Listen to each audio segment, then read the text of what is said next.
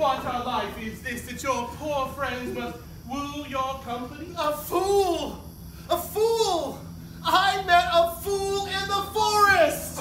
a motley fool! Ah, miserable world.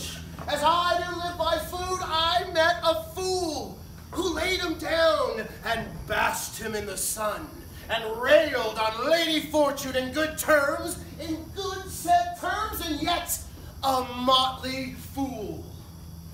Good morrow, fool, quoth I.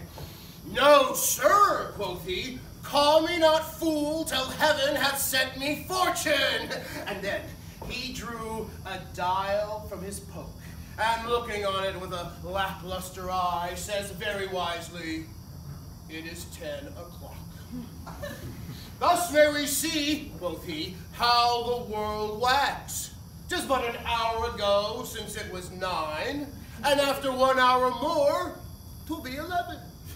And so, from hour to hour, we ripe and ripe, and then from whore to whore we rot and rot, and thereby hangs a tale. And when I did hear the motley fool thus moral on the time, my lungs began to crow like chanticleer. To see a fool so deep contemplative, and I did laugh.